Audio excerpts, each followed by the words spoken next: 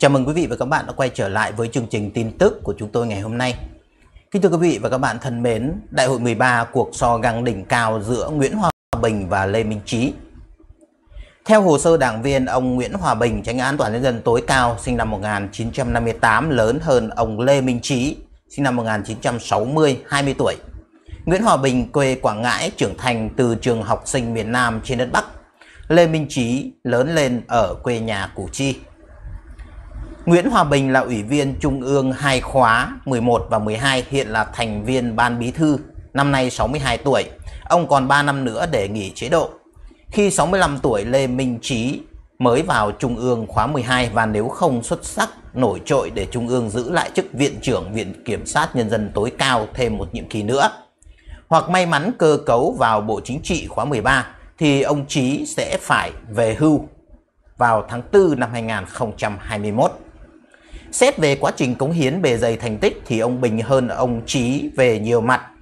Cả hai đều xuất thân từ công an, nhưng thời điểm năm 2008 Lê Minh Trí làm chủ tịch Ủy ban nhân dân một quận ở thành phố Hồ Chí Minh, còn Nguyễn Hòa Bình đã là thiếu tướng, tổng cục phó, tổng cục cảnh sát, phó thủ trưởng cơ quan điều tra Bộ Công an.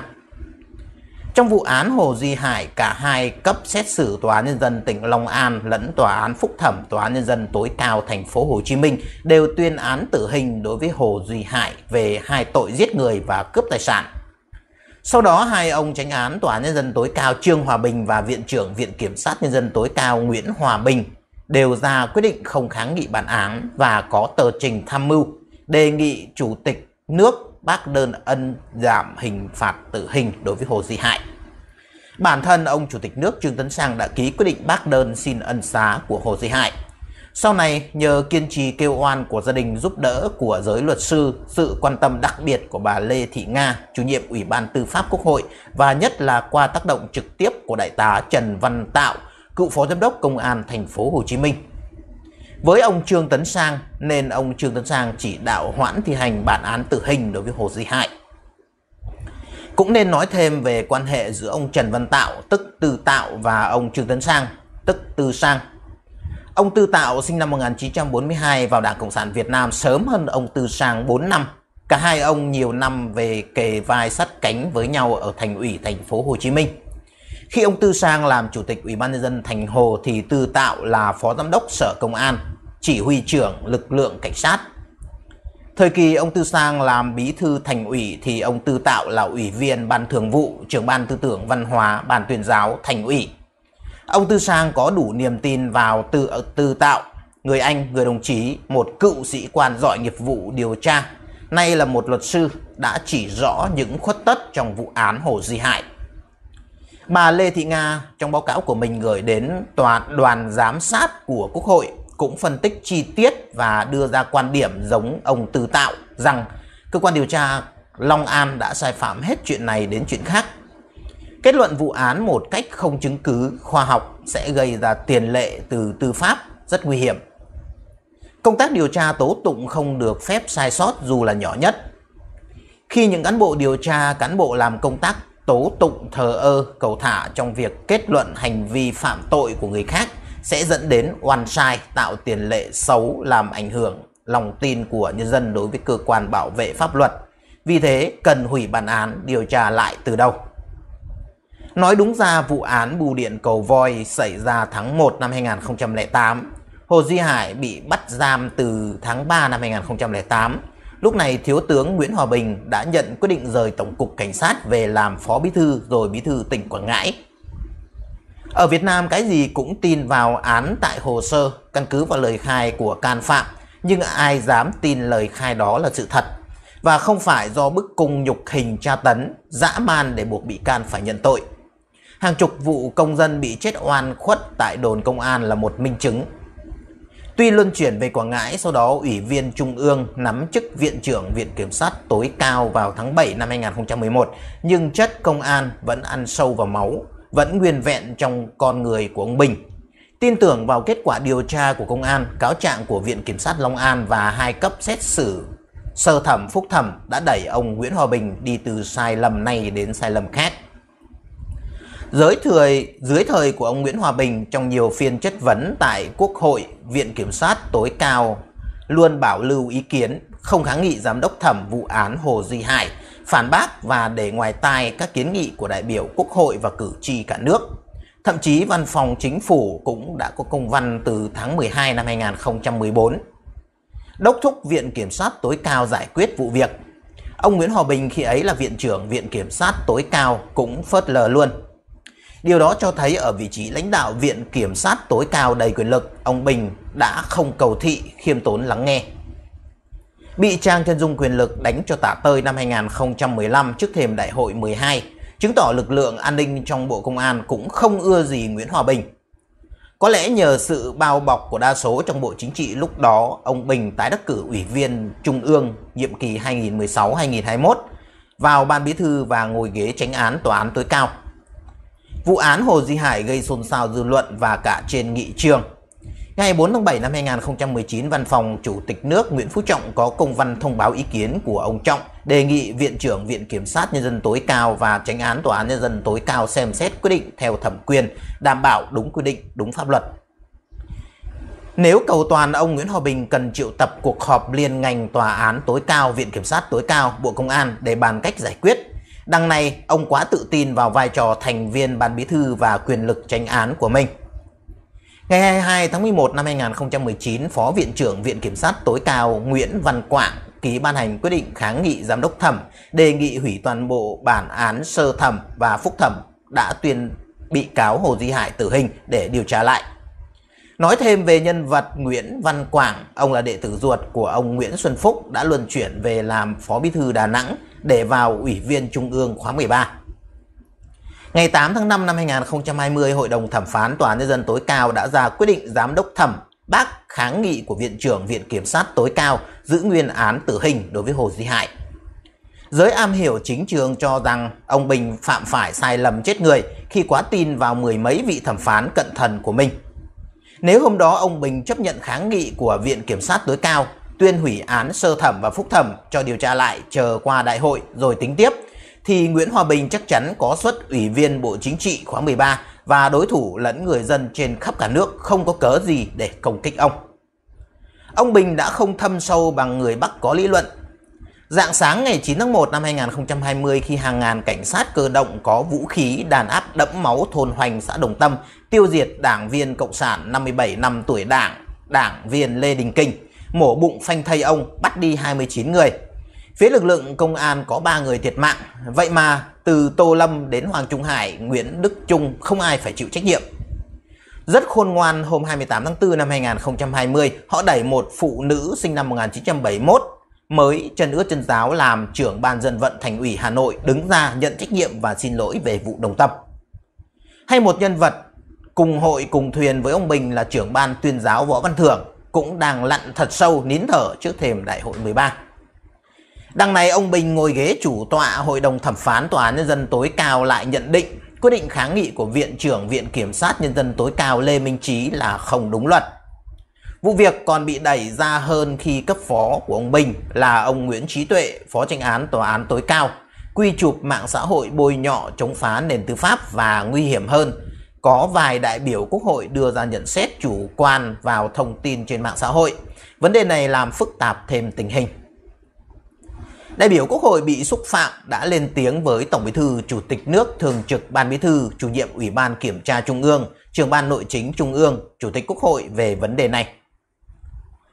Lê Minh Trí được ông Võ Viết Thanh tiến cử với ông Từ Sang.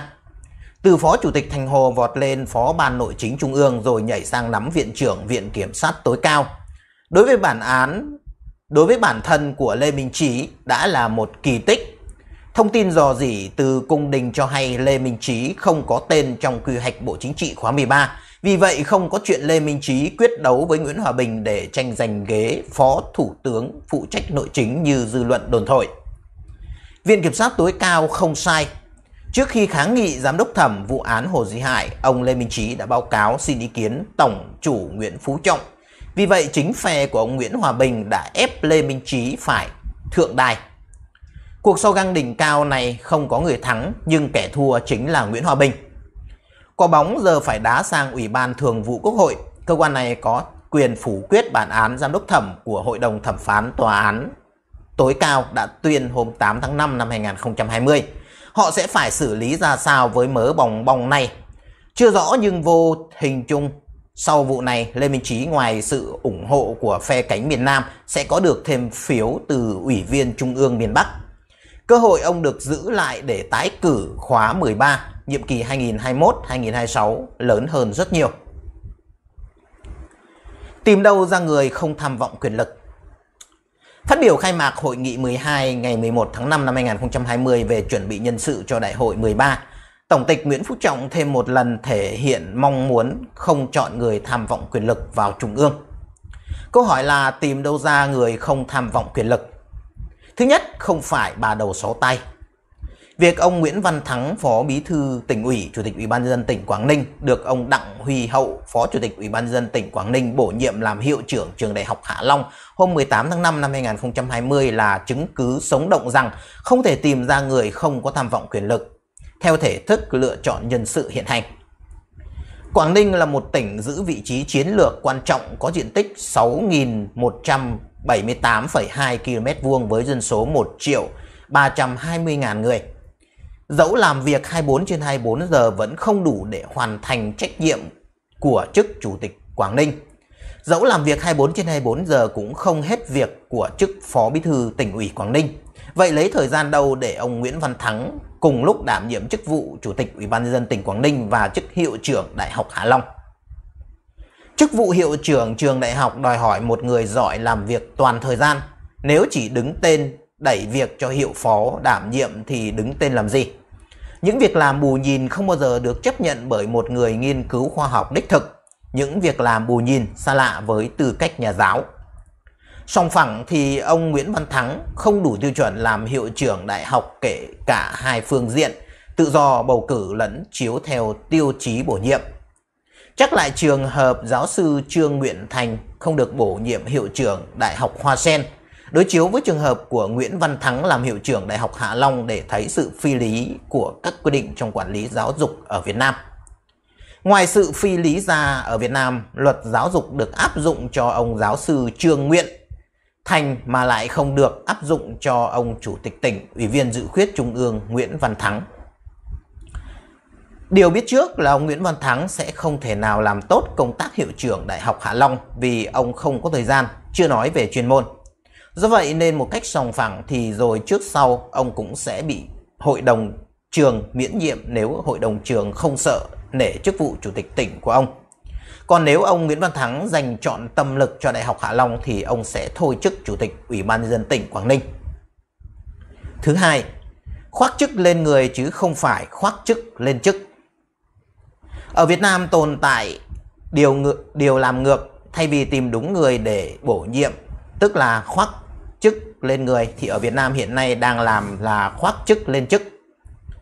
Ủy ban nhân dân tỉnh Quảng Ninh chỉ cần tìm một người đủ tài năng và đức độ đảm nhận chức vụ hiệu trưởng Đại học Hà Long và cử họ làm đại diện cho chính quyền Quảng Ninh ở Đại học Hạ Long. Thế là bài toán được giải quyết, chính quyền là của nhân dân. Sao người dân không thể đại diện cho chính quyền?